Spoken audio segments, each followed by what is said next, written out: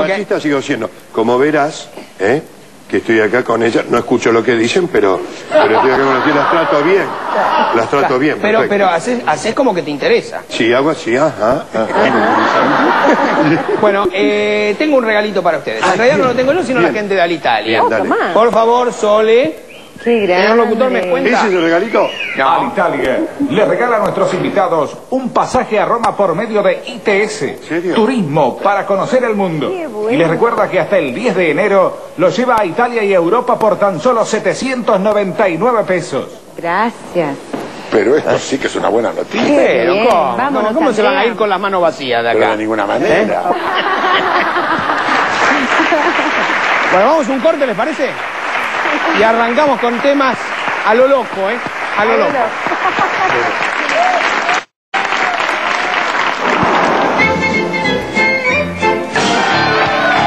Seguimos en la Biblia de Calefón y vamos a llamar a Sol para que traiga las empanadas hechas con las tapas de empanada Blanca Flor. Por Ay, favor. Sol, venga así con unas empanaditas. Qué ¿eh? rico. Porque además que son recontra caseritas, hojaldradas, son para freírlas, son Muchísimas espectaculares. Te digo, Gracias. Andrea, yo sé que vos la cocina te, te puede, es tu, Uy, tu muchísimas gracias. Estás todo el día en la cocina. Con esto van a creer que es cierto. Es tan fácil que todo el mundo se lo va a creer. ¿no? Qué mal. Jorge. Cocino bien, ¿eh? ¿Cocinas bien? Cocino bien. ¿En serio? ¿Sabés que estas empanadas, la masa es muy blandita y se tira fácilmente y cuando la rellenás después no se te rompe? No es. ¿Tenemos el mismo también. oficiante? Te digo algo que ya lo dije la semana pasada. Es tan buena esta masa, tan buena, que yo la como sin relleno. No, Yo me hago, digamos, la- como al vacío, digamos así, y le como simplemente la masa. Mira, ahora le voy a sacar todo el... Ahora la señorita que las, que las trajo, ¿cómo le haría un repulgue yo? sé a, a la petiza. Es esto, claro. No sabés que le ponemos micrófono, pero pasa por acá, me mira con asco y se va. Tres veces intenté hablar con ella, no, se va, se va. ¿Qué tengo que hablar con No ese te ve, Dice. es que no te ve. ¿Cuál se ve? No te- ahí arriba no te ve. Bueno, hablando de esto que estamos comiendo, yo quería, quería tocar un tema que me parece, eh, me parece muy fuerte. Ustedes vieron, llegó, llegó el verano. ¿No es cierto, Enrique? Oh. Dale, dale, dale.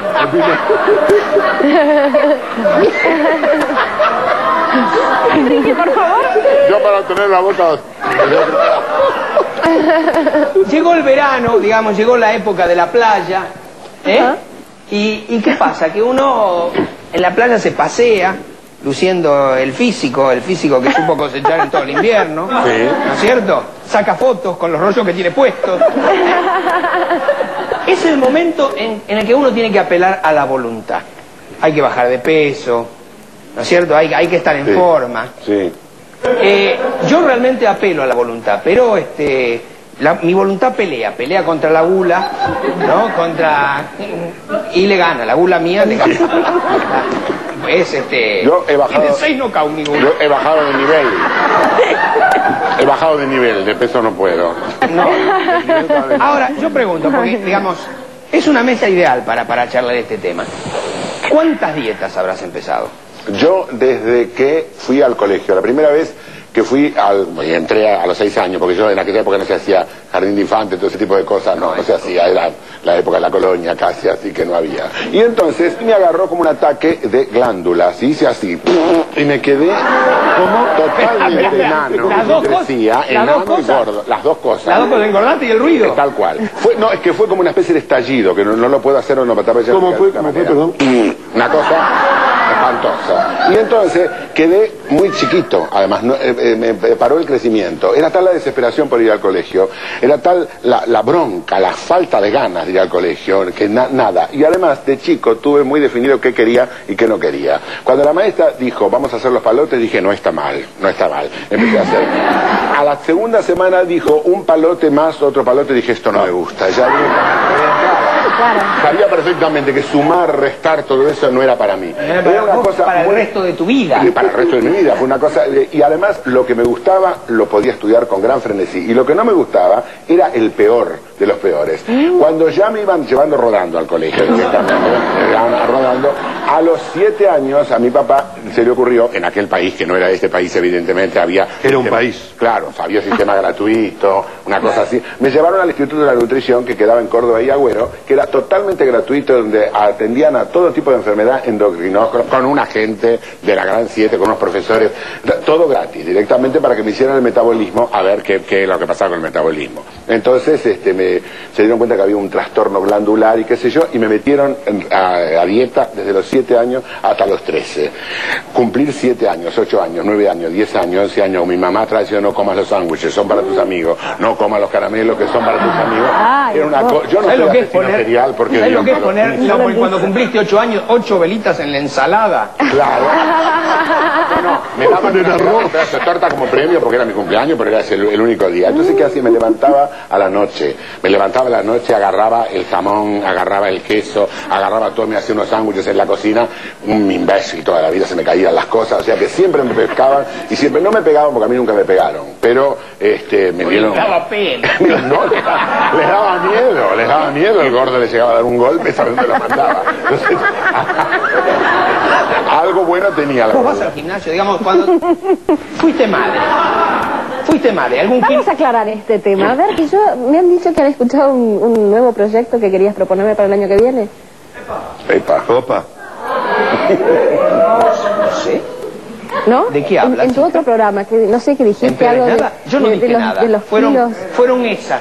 ¿No? Esas, Bueno, las chicas, e- esas las dos chicas brujas. nos defendemos, porque en realidad... Esas dos brujas que me verdad, No acompañan. entiendo por qué hay tanta presión con las mujeres. A ver. O sea, cuando el hombre es pelado uno dice, no, lo que pasa es que es tan inteligente que se perdió el pelo. Si tiene anteojos, no sé, porque estudia mucho. además es hasta o un sexy intelectual. pelado. ¿Quién hizo eso? El hombre es como el oso, cuanto más feo es más hermoso. Un hombre. Eso es mentira. Nosotros. Eso es mentira. Un hombre. La mujer no, Eso es la mujer mentira, tiene que ser eso- divina. La mujer tiene que ser espectacular, divina. un metro setenta, Y el 90, hombre 60, también. 90. Eh, para tener Todo en éxito, su lugar. Tener todo, todo ahí bien durito, turgente. Mira, ¿Por las mujeres buscan lindos tal como los hombres buscan lindas. No, la mujer no sé si busca Y lindo. después se conforma con nosotros, ¿qué vas a hacer, no? bueno. Pero yo, ¿sabes qué? Pero pelado, ¿no? Yo te cuento que, ¿sabes por qué me hice esto, no? Esto que me lo hice yo, esto, esto me hice ¿Esto te, te, te afeitaste? Sí, me afeito yo porque una estática más para vender publicidad. Pero sí, ¿Por pero- qué no te tatuas un producto para que... Estoy dispuesto por una suma. Pero vos sabés que no, eh, el hombre se queda pelado por un exceso de testosterona, por eso las mujeres no son peladas. Entonces, para que te crezca el pelo, tenés que inyectarte hormonas masculinas, femeninas, femeninas perdón. Hormonas femeninas. Te crece el pelo, pero y las tetas, pecho. y las tetas Claro. Claro. Una teta peluda es una cosa este, espantosa, ¿no? Espantosa. Ahora hay una. Ahora, pero, vos decís, vos decís que, digamos, te crece el pelo, te crece la teta, pero te crece el pelo. Sí. Ahora te apretás. Que me crezca el pelo, ¿qué me hace tener pelo? Es para pensar, ¿no? Que yo tengo una duda.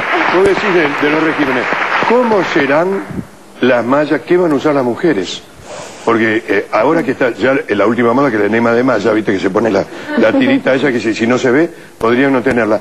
¿Qué van a usar? ¿Qué se van a sacar este Pero yo voy a hablar este en, bien de la gimnasia. A ver. A voy ver. a hablar en bien de la gimnasia porque Vos no hay estás que mucho más delgado, o sea que vos le diste al gimnasio y a la Todo el año me maté, todo el año. Bien. Pero no es por eso, voy a hablar Tenés de la gimnasia de este lugar. Personal No, voy al gimnasio de mi barrio, yo soy una chica de barrio.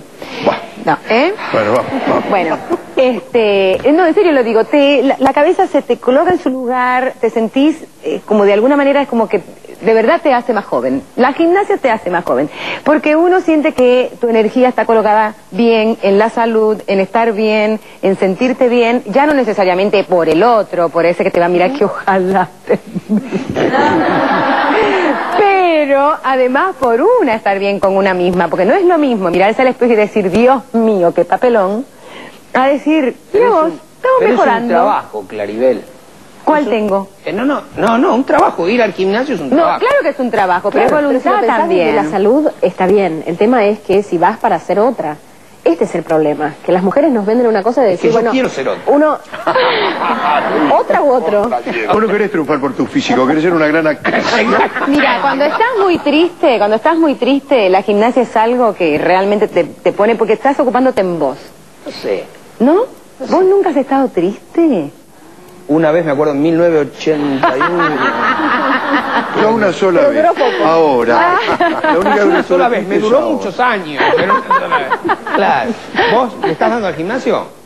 Porque me hiciste una acusación. Sentí que me La tengo casi convencida porque también ha sido charla de camerín en camerín, ¿no es cierto? Sí. ¿Y yo gimnasia Vamos, de camarín? vamos. Ha sido. No, No, porque no. entre Pero escena y que- escena uno tiene tiempo y charla y entonces se pasa... Decimos, de- vamos Pero al, al hace una tira no puede hacer otra cosa más que una tira. Y esto lo No, sabemos. lo que pasa es, o sea, yo tengo con mi hermana un centro de, de estética donde hacemos tratamientos y donde no voy regularmente porque no tengo tiempo, porque entre mi hija y la grabación del programa no tengo tiempo real para ir.